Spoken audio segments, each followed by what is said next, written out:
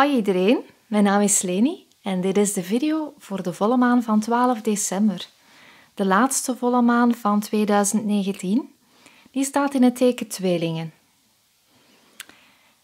Met deze volle maan hebben we een laatste kans om dingen af te ronden, dingen te voltooien. Daar waar ik het de afgelopen maanden heel vaak heb over gehad.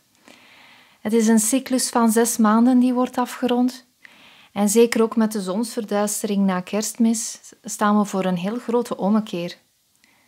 Het is belangrijk dat we ons nu sterk maken, dat we in onszelf gaan geloven, dat we onze kracht voelen en daar waar we misschien nog niet helemaal ons eigen pad, onze eigen weg hebben gekozen, dat we ons eindelijk definitief gaan bevrijden van datgene wat ons tegenhoudt of misschien heeft tegengehouden in het verleden.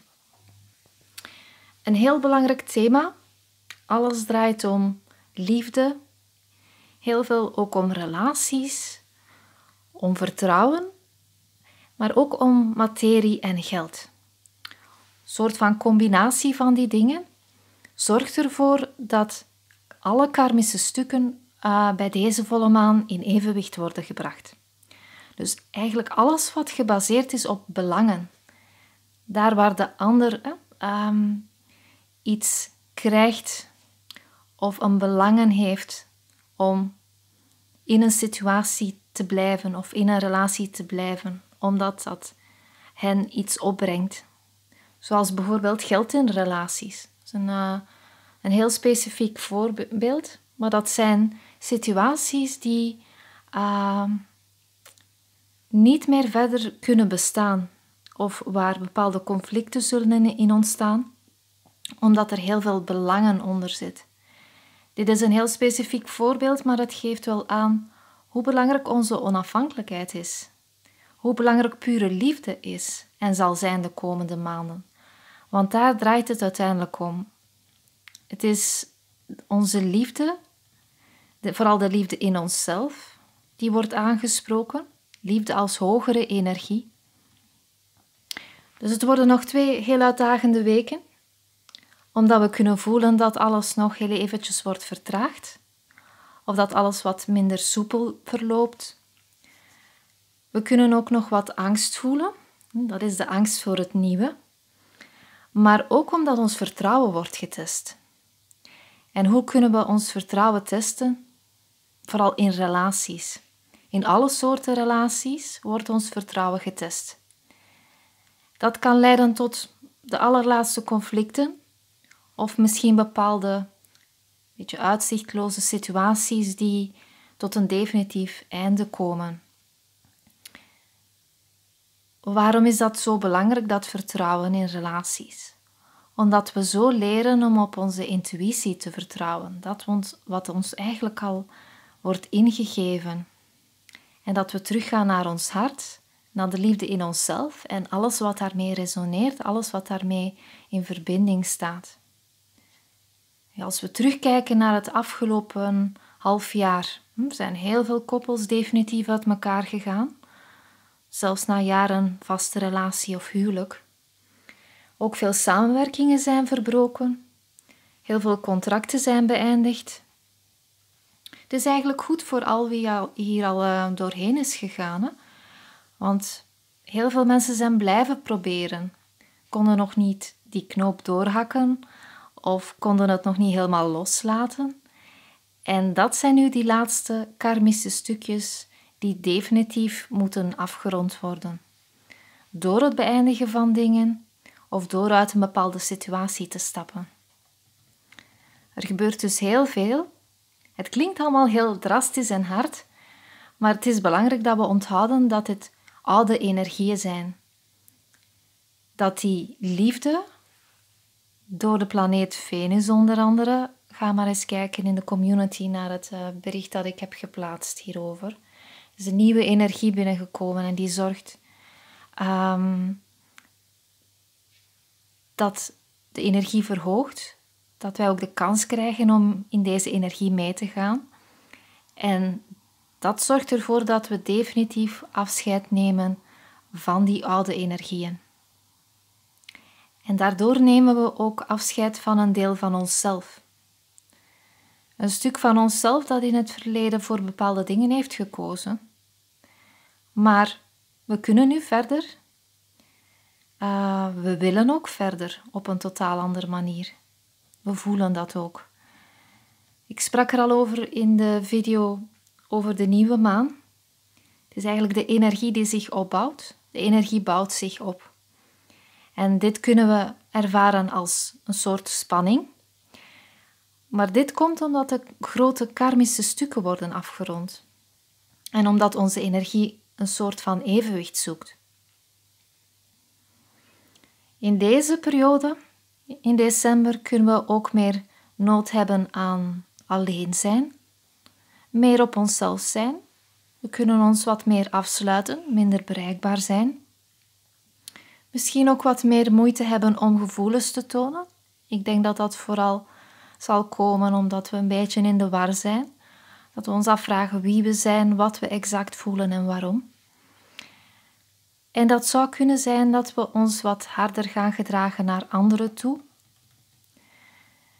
We voelen dat we afstand nodig hebben om weer die rust te vinden in onszelf. Dus neem je tijd daarvoor. Neem je rust.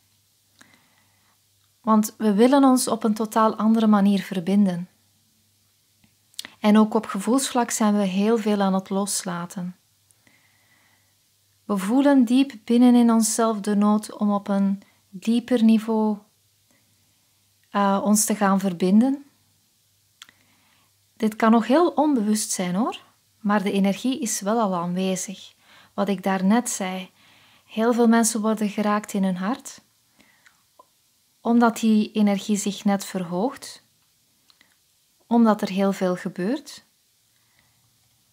En dat zorgt ervoor dat we ons van de ene kant heel alleen voelen, al ook alleen willen zijn, maar net ook die behoefte voelen om ons te verbinden op een veel dieper niveau.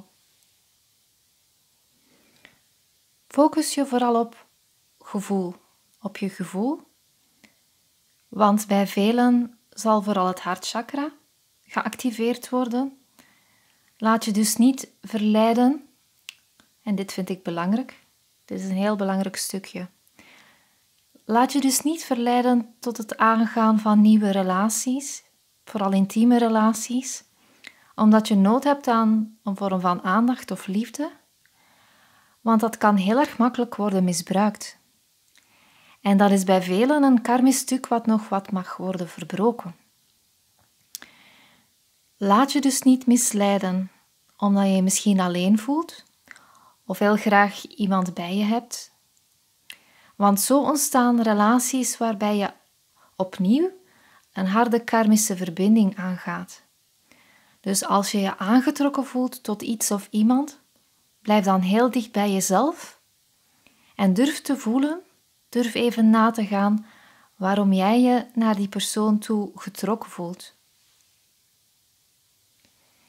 Weet dat jij eigenlijk al in die hogere energie bent gestapt.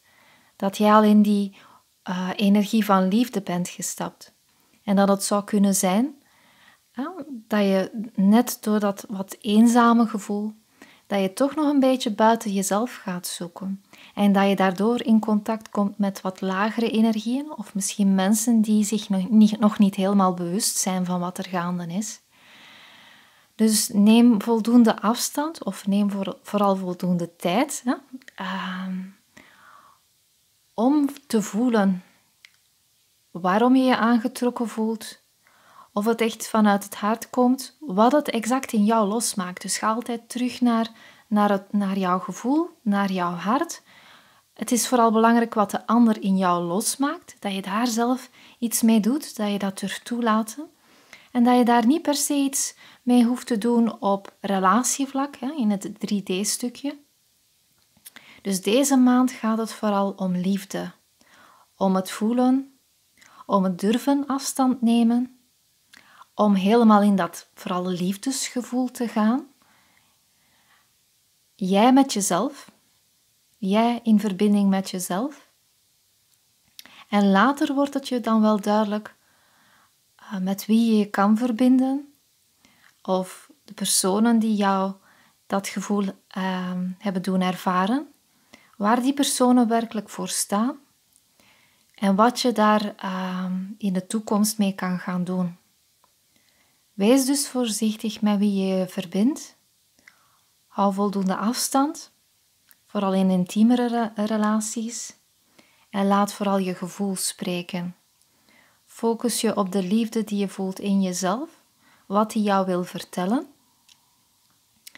En zoals ik eerder al zei, het is een beetje een test om te vertrouwen op onszelf, om ons te kunnen verbinden met onszelf, um, onze intuïtie te laten spreken en onszelf ook voldoende ruimte te geven hierin. Want we zijn aan het wennen aan die hogere energie. We zijn aan het wennen aan die nieuwe energie.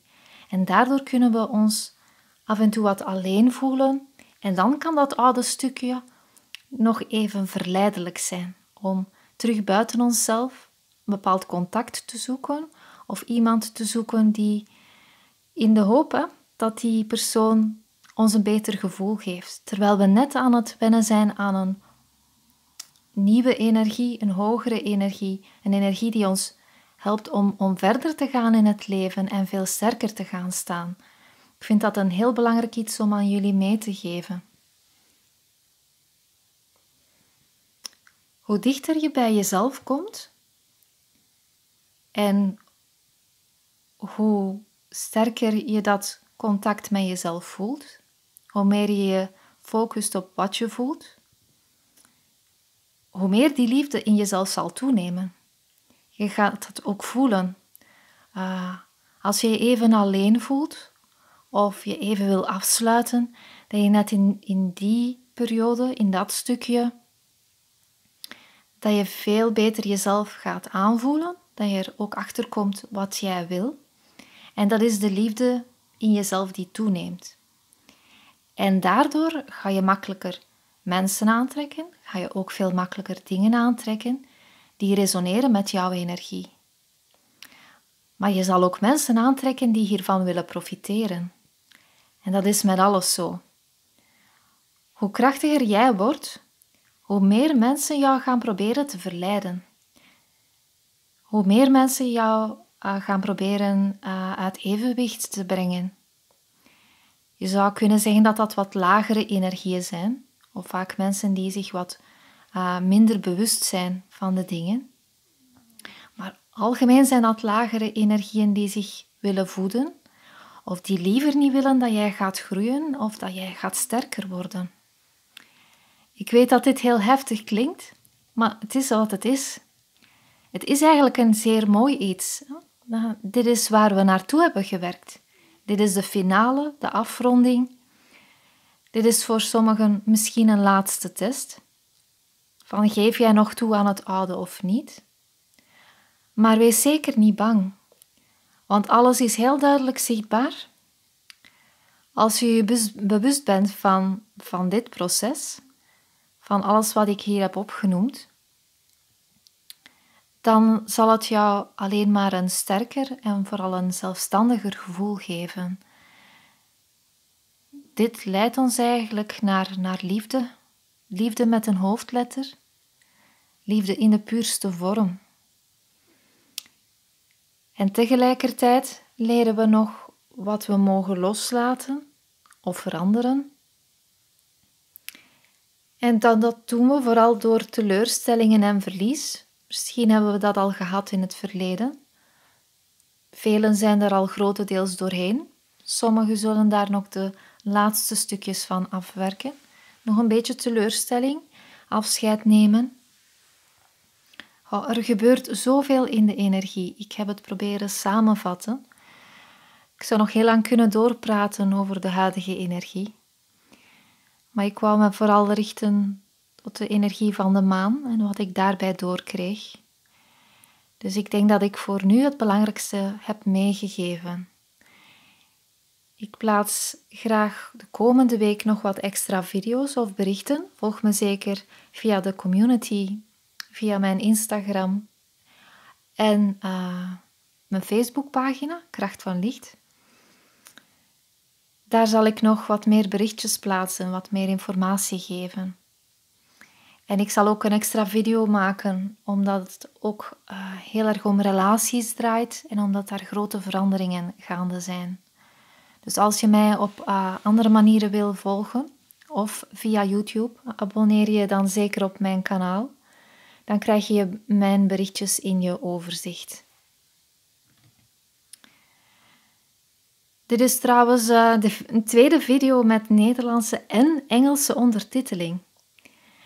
Deel dus zeker deze video's ook met mensen uh, uh, buiten België en Nederland. Zo kunnen jullie deze video's met nog meer mensen delen. Bedankt trouwens voor jullie steun en hulp om dit te kunnen verwezenlijken, want we hopen in de toekomst hè, dit te kunnen verder zetten. Als je mijn kanaal wil blijven steunen, je kan dit op vele manieren doen, maar ook via de PayPal-link. Die vind je onderaan in de beschrijving. Nu voor jouzelf, als je graag een persoonlijke reading hebt, ga dan naar de videoconsulten of de consulten algemeen. En zoals bij iedere volle maan bied ik een aantal uh, korte readingjes aan. Een aantal korte videoreadingjes. Dus als je wil weten wat voor jou belangrijk is bij deze laatste volle maan van dit jaar, uh, dan kijk ik voor jou graag via de Osho Zen Tarot.